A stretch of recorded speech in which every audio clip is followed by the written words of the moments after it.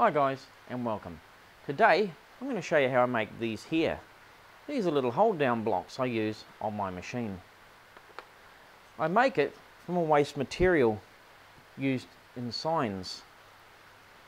It goes by the name of Signex and once I've finished machining the sign I find any space I've got left over and just cut blocks out of it for use on my table before I throw it away. If you do it there and then while it's still on the table, you don't need to go to the trouble of resetting the machine up to cut these out. And when you're finished, instead of storing them for six months until you're ready to sit down and do it, you can immediately throw it away and not have to store it. So let's have a look at how I make them. I have this material left over from my job I've done it's about 5 eighths of an inch thick or 15 millimeters. Now really it's not much use for anything. There's only small bits of material left on here. But in actual fact it's just ideal for making these here. Problem is I don't want to go to the trouble of creating a file to cut out clamps on the material. To make life easy, what I've done is I've created two files.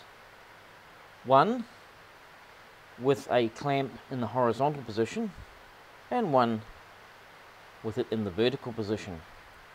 All I have to do is check what one is best for me to cut out, whether I want to cut out several horizontals or a couple of verticals or, or what have you.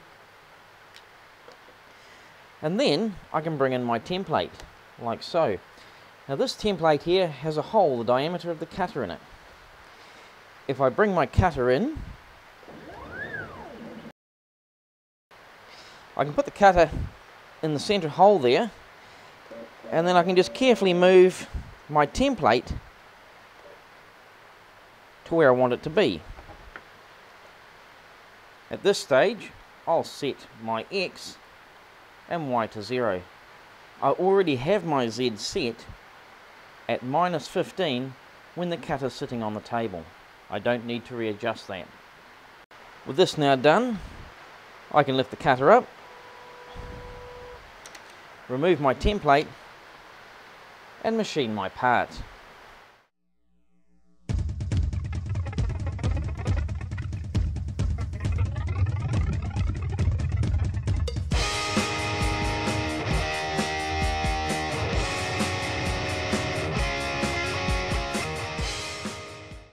I can quickly and easily remove the item with a chisel.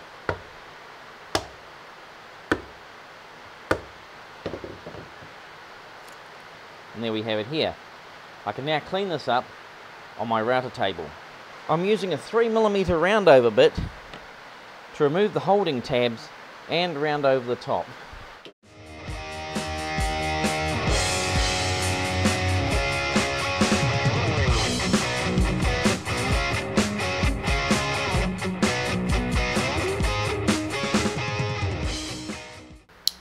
Last thing I need to do is get a knife and just quickly scrape around the top edges here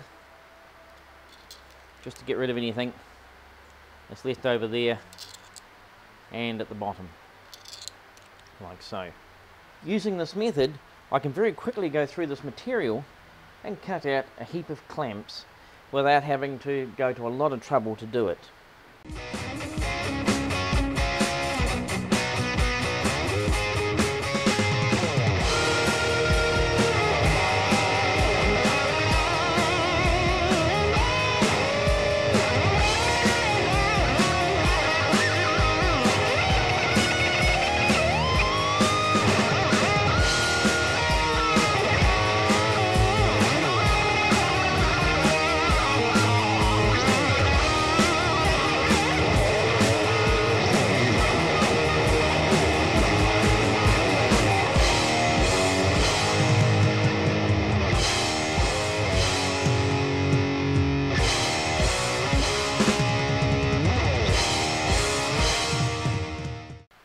That's as far as I want to go with having them in a horizontal position. I'm now going to change to vertical again.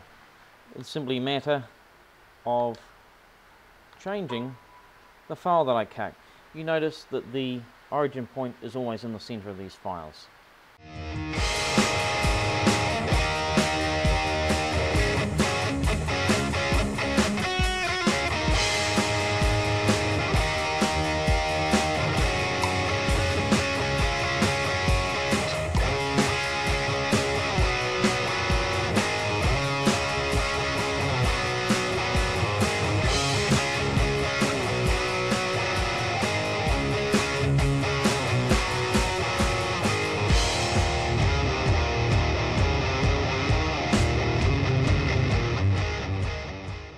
So I've now managed to get 16 hold down clamps out of this piece of scrap material, all without having to create special files to do it, done quickly and efficiently.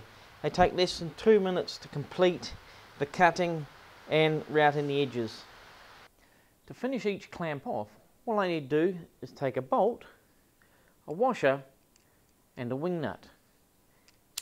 And that gives me my hold down for the table.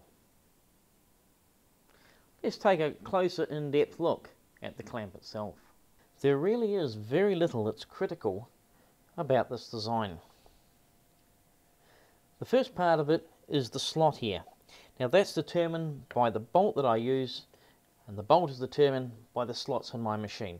In my case this is an 8mm bolt with a corresponding 8mm slot.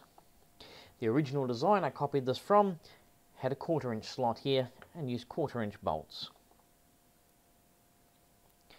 Here we have a quarter inch instep here and just over a quarter of an inch of material left here for strength for when it comes to clamping it down. You don't want this bit too thin, but again, it's not critical how thick this is.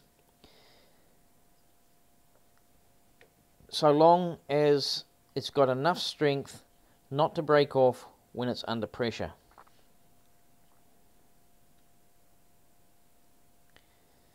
Likewise, the length and width of this here is not critical. I stuck with the original drawing dimensions and I found these to be good, but maybe one day it wouldn't hurt me if I made a couple a little bit longer, they might come in quite handy. More critical is the material you make it out of. I originally tried these out of MDF and I found that they would actually delaminate along this point here when it was under pressure because the top part would bend, the bottom part wouldn't, it would just basically fall apart. Plywood would probably be a better material. Uh, plastics, hard plastics like this here, if you listen while I knock these together, you can hear that they're quite a quite a hard plastic and I think that's just great for this application. It provides plenty of strength without having to worry about them breaking. Well I hope you've enjoyed this video and maybe you'll look at making some of these yourself. If you'd like to do so, I've put a link in the description box below to where you can download the files and cut your own. A big thanks to Joe from joecnc.com for allowing me to butcher his drawings and present the offspring to you here. In my next video, I'm going to show you how I use these clamps in my day-to-day -day machining, as well as a few other hold-down methods I occasionally use when these clamps just don't do the job. If you've enjoyed this video, please remember to like it. If you haven't already done so, please consider subscribing to me on YouTube and follow me on Google+. In the meantime, thanks for watching and I'll catch you guys later. Cheers. Anyone want to play Hold Down Jenga?